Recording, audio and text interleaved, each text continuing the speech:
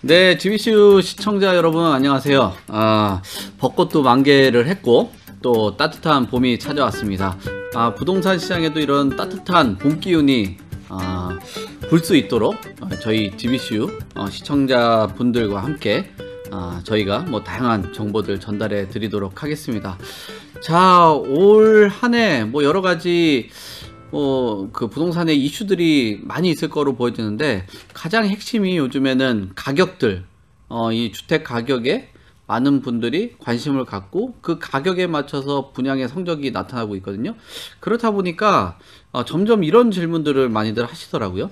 지역주택조합 이 질문들을 정말 많이 하시는데 사실 이 지역주택조합이라는 게 장점이 좀 많습니다. 공동구매 형태로 집을 마련을 하다 보니까 저렴하게 내 집 마련을 할 수 있는 상품이다 라고 이야기하는데 요 내용 역시나 좀 들어보고 어, 다양한 내용들 그리고 여러분들이 꼭 숙지해야 될 내용들 이런 것들 오늘 전달해 드리도록 하겠습니다. 법무법인 신모 어, 김예림 대표 변호사님하고 오늘도 이야기 나눠보도록 하겠습니다. 변호사님 안녕하세요. 네, 안녕하세요. 김예림 변호사입니다. 네, 지금 앞서서 제가 말씀드린 것처럼 요즘에 가격에 많은 분들이 예민하잖아요, 주택 가격. 근데 이 지역 주택 조합 공동 구매 같은 그런 형태 라고 제가 설명드렸는데 조금 더 자세하게 지역주택조합에 대해서 어, 좀 설명을 주시면 좋을 것 같습니다. 어, 말씀하신 대로 이 지역주택조합 같은 경우에는 어, 그 내 집 마련을 하려는 분들이 이제 그 동업 형태로 해서 내 네. 집을 마련을 하는 거다라고 보시면 되기 때문에 동업을 하실 때 돈을 모으죠. 네, 그렇죠. 돈을 모아서 그 돈으로 이제 땅도 사고 건축도 하고 하다 보니까 중간에 어떤 그 뭐 이윤이나 뭐 이런 것들을 좀 줄일 수 있는 부분들이 있어서 싸게 내 집을 마련할 수 있는 제도라 서 활용을 잘하면 아주 장점이 있어요. 근데 네. 실제로 그렇지가 않다라는 점이 또 문제가 되는 건데 길 이렇게 가시다 보면은 뭐 모델하우스나 뭐 이런데 그 주변 시세랑 비교했을 때 너무 지나치게 싼 값에 분양을 받을 수 음. 있다. 뭐 이런 현수막이나 이런 그 문구들을 좀 보신 적이 있을 거예요.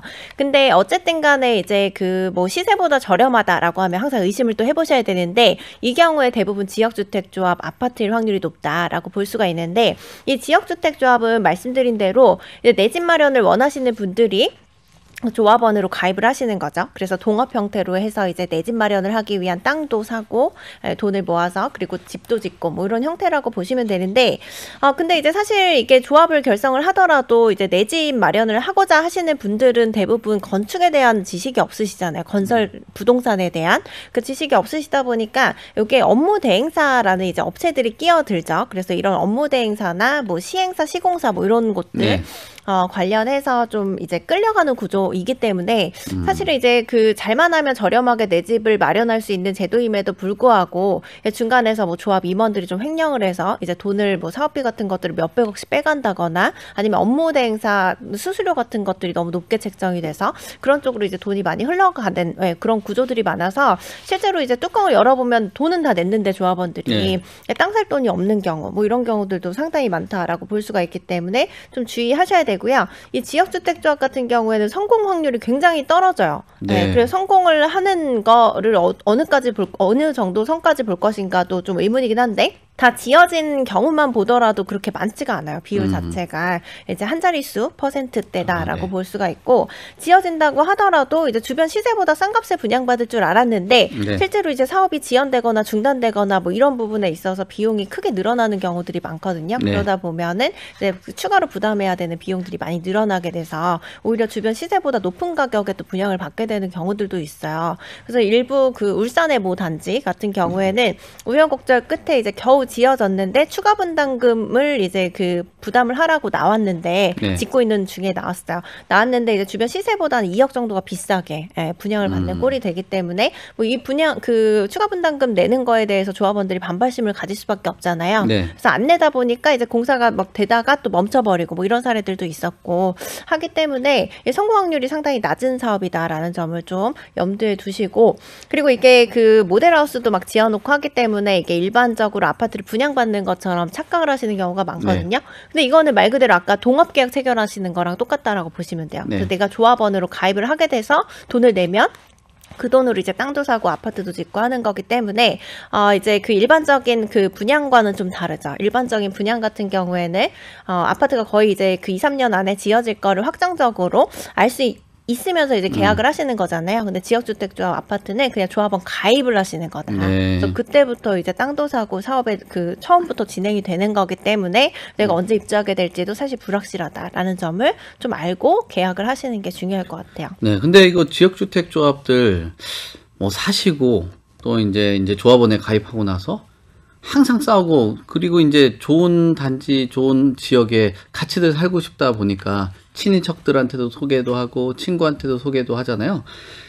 근데 이거 지역주택 조합들 워낙 실패 사례들이 많다 보니까 원수한테나 권해라 라고 할 정도로 정말 이 뭐 글쎄요 뭐 이 정도의 문제를 갖고 있다라고 하면 원수한테도 권했다가 큰일 날 것 같은데 네. 왜왜 그런 건가요? 이 말씀드린 것처럼 지역주택조합 사업 자체가 성공 확률이 굉장히 낮아요. 그래서 네. 일단 뭐 서울 수도권 같은 경우에는 땅값이 비싸다 보니까 더 어렵고 네. 이제 그나마 지방은 조금 이제 성공하는 사례들이 있다라고 네. 볼 수가 있는데 일단 성공 확률이 너무 높기 때문에 돈만 내고 어 음. 그리고 이제 아파트 입주할 수가 없게 되는 상황이 대부분인 거죠. 네. 거기다가 이제 입주를 할 수 있게 아파트가 지어진다라고 하더라도 이제 네. 사업이 생각보다 지연이 많이 된다거나 중단된다거나 이런 음. 리스크들 때문에 실제로 주변 시세보다 더 비싼 값을 분양을 받는 사례들이 대부분이다라고 네. 보시면 돼서 성공 확률이 굉장히 낮은 사업이다라고 보실 수가 있고요.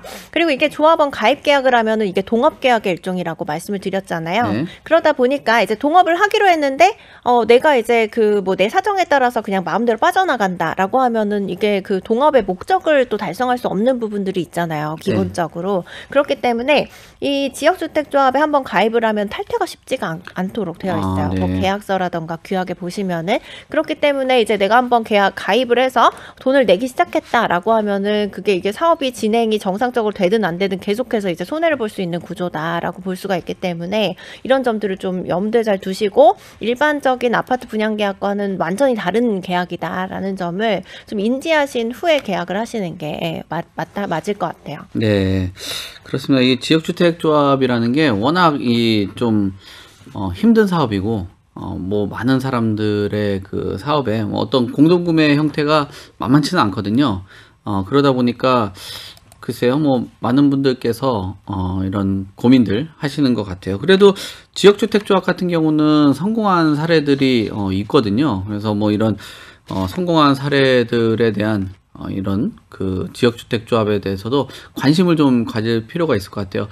어, 특히나 이 그 성 그 뭐랄까요, 뭐 상도동 이 일대 같은 경우는 어, 성공한 사례들이 타 지역들보다도 좀 많은 곳이에요. 그러니까 다른 지역들은 뭐 재개발이나 또는 강남권 같은 경우 재건축으로 성공한 그런 대표적인 지역들이잖아요. 근데 어, 이 그 동작구 같은 경우는 유난히도 이 성공한 그런 어, 사업지들이 많거든요. 그래서 최근에 어, 뭐 여- 여러 가지 그 지, 지역주택조합의 성공 사례들을 어, 보게 된다라면은 상도동의 더샵이라든지 힐스테이트 상도 센트럴파크, 뭐 상도 두산 위브 트레지움 뭐 이런 것들 같은 경우도 어, 지, 지주택으로 만들어진 아파트예요. 특히나 지금 뭐 지도에서 어, 하나를 보여드리면은 요 상도역 주변에 있는 어, 상도 롯데캐슬 뭐 파크엘 여기 같은 경우도 어, 꽤 괜찮은 그런 지역 주택으로 성공한 지역이라고 볼 수 있거든요. 어, 주변에 보시면 이 상도역하고의 굉장히 인접한 지역들이에요. 특히나 이 어, 소위 말하는 그 지역 주택 같은 경우는 역세권에서 성공한 사례들이 어, 있는데 이런 그 성공 사례들을 봤을 때 또 주변 일대 어, 상도 뭐 위브라든지 트레지움, 더샵 뭐 이런 것들이 잘 갖춰져 있잖아요. 이 상도역 주변으로 어, 그 역세권 주변 그리고 이런 성공한 사례들이 동작구 그리고 요 상도역 주변으로 성공한 사례들이 어, 상당 부분 있습니다. 그리고 많은 사람들이 한강변하고 가까운 그 성수동에 있는 트리마제 뭐 여기 같은 경우도 성공 사례로 뽑는 경우들도 있는데 어, 지금 그 변호사님하고 얘기하기 전에 아니 이게 성공한 사례가 아닌데 왜 자꾸 성공한 사례로 언급이 어, 되는지 좀 모르겠다라고 얘기해 주셨는데 여기 뭐 트리마제에 대한 그 어, 문제 또 그리고 트리마제 그 성공 사례가 아니라 오히려 실패 사례가 아닌가라는 의견 주셨는데 왜 그런 거죠? 이 트리마제가 성수동에 있잖아요. 그 중에서도 굉장히 비싼 시세를 네. 형성하고 있는 아파트여서 뭐 잘 알고 계신 분들이 많을 텐데 여기를 이제 지역주택조합의 성공 사례로 잘못 알고 계신 케이스들이 많아요. 네. 물론 이제 트리마제가 2001년도부터 지역주택조합 사업으로 시작이 된 거는 맞아요. 네. 근데 오히려 여기는 실패 사례로 보시는 게 맞을 것 같은 게 네. 일단 지역주택조합을 추진 을 하다가 결국에는 이제 조합원들이 다 돈을 날리고 그리고 이제 두산에서 민간에 시행을 해서 어, 아파트를 지은 곳이다라고 볼 수가 있는데 트리마제 같은 경우에 2001년도에 이제 지역주택조합 사업으로 시작을 했어요. 예, 네. 시작을 해서 그때 당시에 이제 시행사가 별도로 있었죠. 예, 시행사가 별도로 있었는데 물론 이제 조합 방식이기 때문에 조합이 사업 시행자가 되는 거는 맞는데 업무 대행사 같은 네. 정도로 보시면 될 것 같아요. 당시에 이제 그 처음에 사업을 시작할 때는 조합원한테 이제 평당 한 600만 원, 700만 원 정도 예, 네. 금액으로 이제 분양을 할 걸 예정을 했는데 근데 이게 그 지역주택조합 사업은 어, 소유권 확보가 굉장히 어렵다라고 보시면 돼요. 그래서 이따가 막 간단히 말씀을 드리면은 조합 설립을 하려면은 토지를 사용할 수 있는 승낙서 80% 이상을 받아야 되고 예. 그리고 아예 사업 계획 승인을 받으려고 하면 95% 이상을 이제 소유권까지 이제 취득을 해야 그래야 나머지 이제 5%의 토지를 강제적으로 이제 수용할 수 있는 방법이 있거든요. 네. 그러다 보니까 이제 95%를 확보하는 게 상당히 어려워요. 음. 이 트리마제 같은 경우에도 그랬던 거죠. 그래서 이제 그 업무 대행사로 뭐 용역비도 빠지고 그리고 또 뭐 매매 계약 같은 것들이 또 알박기 하는 사람들이 있으면 또 매매 가격이 올라가니까 네. 토지 확보가 용이하지 않던 중에 결국에 이 업무 대행사 업무를 좀 주도적으로 이제 진행을 하던 그 업무 대행사가 좀 부도가 났어요. 그러면서 이제 어떻게 할 것인가 막 그 좀 수습을 하다가 이제 결국에 조합원들이 뭐 시공사 도움을 받아서 어 대출을 받은 거죠. 네, 대출을 받아가지고 그래서 이제 사업 부지를 인수를 했는데 그 사업을 다시 시작하고 하던 중에 어 이제 그 둔촌주공처럼 이제 공사비 갈등이 터진 거예요. 네. 그래서 시공사에서는 어쨌든 사업이 좀 지연되고 이런 부분들이 있기 때문에 공사비를 올려달라라고 했는데 이제 조합원들 입장에서는 이제 30평대 기준으로 했을 때 기존에 처음에 이제 사업을 시작할 때 평당 6, 700만 원 정도였는데 어 전체적으로 이제 한 2억 정도가 늘어나니까 좀 부담이 된다라고 해가지고 결국에 시공사 협상이 결렬되면서 이게 음. 그 아까 돈을 빌려서 이제 그 사업 부지를 낙찰을 받았었잖아요. 예. 그 인수를 했었잖아요. 근데 이 채권을 갚지를 못하게 된 거죠. 결국에 어. 이제 그래서 예, 공매에 넘어가게 되고 결국에 시공사에서 요- 이 다시 낙찰을 받아서 사업 시행을 해가지고 결국에 조합원들은 손해를 본 케이스다라고 볼 수가 있어요. 그래서 결국에는 민간 시행을 통해서 고급 아파트가 지어진 사례로서 이제 지역주택조합의 성공 사례가 아닌 실패 사례로 보실 수가 있겠죠. 네. 좋은 차를 사기 전에도 이사를 가기 전에도 크게 다치기 전에도 항상 미리 대비를 해놓는데 부동산은 왜? 사전 점검 서비스는 부동산 매물을 사거나 짓거나 하기 전에 법률부터 부동산 정보까지 한 번에 미리 대비하는 서비스입니다. 영상에 나오는 연락처로 많은 신청 부탁드립니다. 또 다른 세상을 맞이하라. 낡은 정보를 지워라. 새로운 감각을 익혀라. 변화하는 미래에 맞서라. 편향된 시각을 버리고 얽혀있는 도시 속 독보적인 가치를 쟁취해라. 당신이 만드는 미래의 기회. 도시화 경제.